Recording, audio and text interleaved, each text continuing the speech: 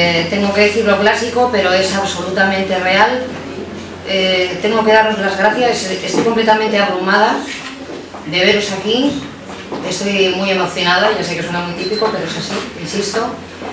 Para mí ha sido una gran sorpresa eh, haber notado todo el cariño que a lo largo de estos días he ido percibiendo por parte de personas que sabes que te quieren.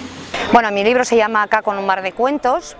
Eh, Caco es el nombre de un pato eh, que vive dentro de una toalla y bueno, está muy agobiado porque claro, depende que le lleven, le traigan para ir a la playa, que es su sitio favorito. De todas formas, en el libro, aunque Caco le dé título, eh, son historias independientes, son un total de 10 relatos y no tienen nada que ver una con otras. Decía Begoña Curiel hace unos días en, en Facebook que esto que presentamos hoy es un sueño cumplido. Y es verdad y también es verdad que para un editor como nosotros, una editorial pequeñita todavía, con algo más de año y medio de, historia, lo más gratificante es contribuir a ver cumplidos los sueños de gente como En este libro lo que se trata es, lógicamente, es eh, de dirigirse a los niños, hablando de sentimientos y valores generales, de manera sencilla, en lo posible, aunque también eh, hay que dejar eh, claro que no son eh, historias sencillas en algunos puntos, con lo cual la recomendación que hago es que siempre que sea posible que estén con los padres, que los padres les acompañen en esta lectura, porque aunque los pequeños son los destinatarios del libro, también a los adultos, porque no les puede gustar sentarse y disfrutar de un, de un cuento. Yo desde luego lo he hecho toda mi vida y lo sigo haciendo. En unos tiempos donde Diariamente hablamos nada más de la prima de riesgo, del IVA, del paro, de la exclusión social.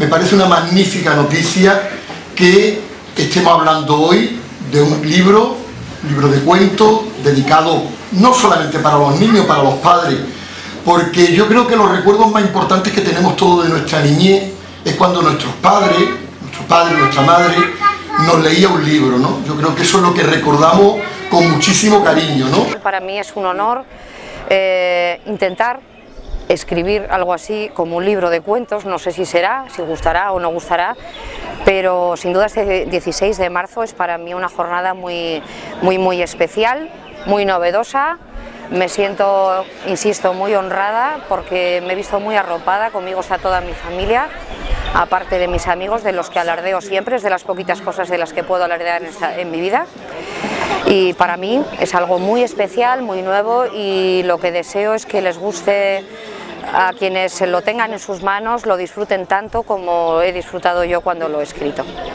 Y siempre pensamos, eh, igual podemos pensar que es para niños de todas las edades, pero sí que es cierto que mm, no vale para todos los niños. Eh, ¿Por qué? Porque hay algunas historias que pueden resultar complicadas para niños que bueno, tienen una edad eh, bastante más corta, y que igual esperan leer una, una historia con un final completamente feliz. Desde luego mi intención no es contarles dramas, pero sí que hay algunos momentos en los que puede ser un poco duro si el niño eh, no tiene la edad adecuada. Por eso la solución, una solución muy fácil pero que luego no se aplica, es que los padres estén con el niño un adulto esté acompañándole en esa lectura. Vamos, tampoco os asustéis, parece que va a ser esto algo tremendo. Pero a mí siempre me ha gustado acompañar a mi Irene en la lectura de sus cuentos, primero porque los disfruto y segundo porque me gusta estar allí por si tiene alguna duda. Para nosotros todo está muy claro, claro es un mundo de niños, eso es muy facilón, pero los niños no entienden la mitad de las cosas de las que les hablamos. Entonces, eso, yo recomiendo que estéis con ellos y de paso si, si lo disfrutáis pues ya sería estupendo.